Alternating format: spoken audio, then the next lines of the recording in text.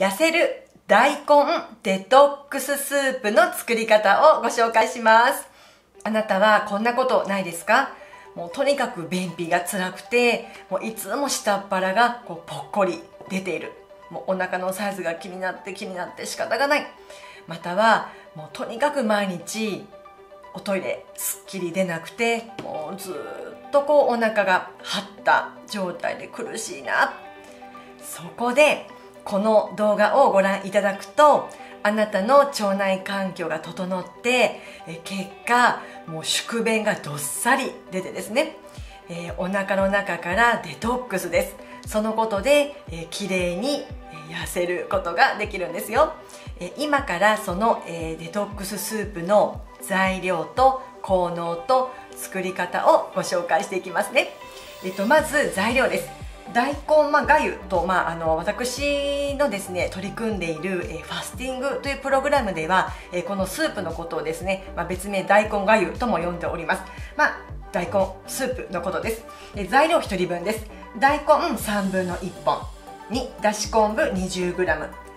無添加の梅干し、えー、3粒ぐらいまで。4ミネラルウォーター2リットルです。えっと一つ一ついきましょうね。まず大根。先ほど慌てて準備した、えこちら私グリーンコープさん大好きなんですけどもグリーンコープさんで買いました。あの無農薬の大根とあ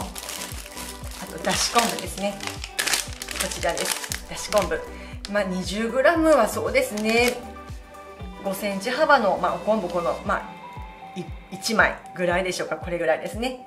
でいいと思います。あの適量で良いです。昆布だし昆布は適量で構いませんが目安としては 20g 取ってくださいね。そして、えー、このまた大事なのが無添加の梅干しにしてください、えーと、私はこちら大分県産の耶馬渓の手作り無添加梅干しです。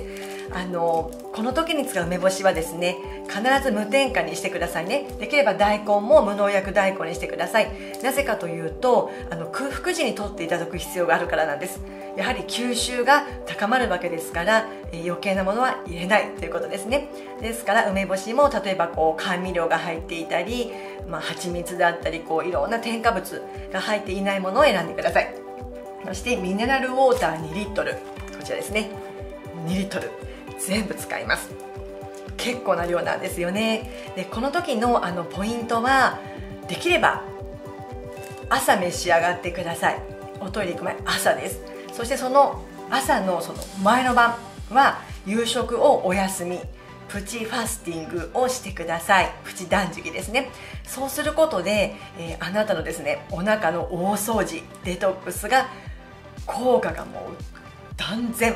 上がりますのでぜひ、えー、夕食をお休みするその翌朝にこの大根スープを召し上がっていただくのがもう効果を一番高める方法になります。さあ、えー、まずこの効能ですね。使う大根でそのたっぷりの水分と食物繊維を使うわけです。プラスここで消化酵素も豊富ですから、まあ、お腹の中がまデトックスできるわけなんですね。でプラス大根というのはま低カロリー低糖質ですから安心なんです。また使うこのだし昆布の、えー、含まれているそのグルタミン酸が脂肪の蓄積を抑える効果もありますからぜひぜひまたうまみ成分もありますから美味しく召し上がっていただくことができるんです。そして梅干しです。もうクエン酸ですよね。代表的な、えー、梅干しです、えー、腸の動きを、まあ、活発にしてくれる食べ物ですからこの梅干しのクエン酸の力を使っていくわけなんですね。でプラスお水もあの水道水とかではなくてぜひぜひお体に優しいミネラルウォーターや、まあ、浄水器のお水を使ってくださいね。では今から作り方をいよいよご案内していきたいと思うんですけれどもあのそもそもこの大根がゆ、まあ、大根デトックススープというのはあのファスティングというプログラムにはもうあの本当に代表的な回復食に使われる食べ物なんですよね。でこのファスティング、まあ、私微腸活の専門家でありまた自身もファスティング取り組んでおります。でこの私自身が取り組んでいるそのリアルでですね取り組んでいるそのファスティングの、え、動画別動画があのあります。こちら。動画を見終わった後に詳細欄にリンクを貼っておきますので、えー、ファスティングってどんなことするのかな？どんな痩せる効果があるのかしら？と気になっていらっしゃる方はご覧ください。でまたリンクに、えー、LINE あ詳細欄にですね LINE のリンクも貼っておりますので、えー、ファスティングご興味ある方はそちらもぜひ、えー、登録後に直接私まで遠慮なくご相談くださいね。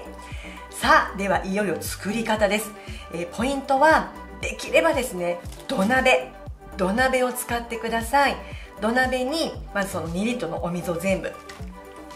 入れてそしてこのだし昆布を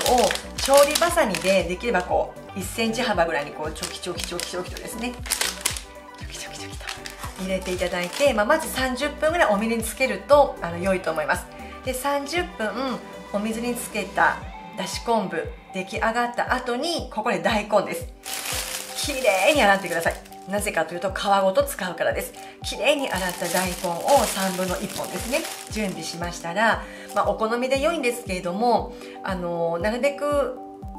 消化に負担かけない場合は、まあ、あの薄くいちょう切り千切りとかですね。細く切ってもいいですし、まあ、1センチ幅で、まあ、輪切りでもいいんですけれども、まあ、早く火を通すためにはあの細切り千切りするといいと思います、まあ、お好みで結構です。そしてあのもうグツグツですね。先ほどのお水がそうですね。数量、まあ、そのままというよりはやっぱりしっかり大根に火が通って、まあ、水分量も減っていくと思うんですけどもその辺りはあのお大根の火の通り具合で結構です。とにかくしっかりあのコトコト煮ていただくんですね。そして出来上がったそのスープに後入れでその梅干しをこう溶きながら召し上がっていただくんですけれどもあのもしその集中的なもうがっつりとしたファスティングプログラムをされていらっしゃる方にはまたその食べ方がですねこう事細かくまあルールがあるんですけれども、まあ、ここではそうですね、まあ、もしその本当にファスティング明け初めて食べる食事の時はそのお大根を食べる前にちょっとスープを先に飲んでいただくとか、まあ、ルールはあるんですけれども、まあ、できればそのプチ断食前の晩にプチファースティングされた方はあの同じように今からお伝えします。食べ方で召し上がってください、えっと、まず大根からガブガブとか食べるのではなくてできたそのスープから飲むんです。でその時にスープのまんま飲んでも美味しいんですけれどもここで準備していた無添加の梅干しですね、まあ、3粒程度を種を取ってあのしっかりペースト状で作っておくわけ練り梅みたいな形ですね、まあ、準備しておく。でそれをその少しずつ少量取ってそのスープに溶かしながら召し上がっていただくんですね。でそれからそのスープをある程度飲み終わってからお大根をまあよくよく咀嚼してものすごくよく噛んでいただいてゆっくりゆっくりあの、まあ、胃腸の中にまあ、入れていただくのがベストな食べ方。で結構このお水ですねスープ2リットルもお水使いますから一度に食べるのってね苦しいです。あの私もかなりその一気には食べれません。なので大体まあ1時間とか、まあ、1時間半ぐらいかけてゆっくりゆっくりま流し込んでいただくのがベスト。でまたこのスープをですね召し上がっていただいた後はもうお腹がですねもうぐーっと動いて必ずあのトイレにですね行きたくなりますから例えばその食べてすぐお仕事に行かないといけないとかあの交通機関使ってこう移動とかいう時はちょっと心配ですのであのお時間の余裕がある時、まあ、例えばお休みの日の朝とかですね。なのでそのお休みの朝の前の晩に晩ご飯を一食抜いておくとかそういった工夫をされてくださいね。とにかく空腹の時に食べるのが一番です。ベスト。さあいかがだったでしょうか、えー、この、えー、大根デトックススープ、まあ、ファスティングの中では、まあ、大根がゆとも呼ばれるこのスープをあなたは、えー、すぐに今すぐにですね作っていただいてぜひぜひお休みの朝ですねゆったりとした気分で美味しく美味しく召し上がってくださいね。もううまみ成分も出てますしすごく美味しいですよ。さあいかがだったでしょうか？えー、あなたご自身とそして周りの大切な方のためにぜひこの動画どんどんシェアして差し上げてくださいね、えー、また役に立ったと思っていただけましたら高評価ボタンとチャンネル登録をよろしくお願いいたします。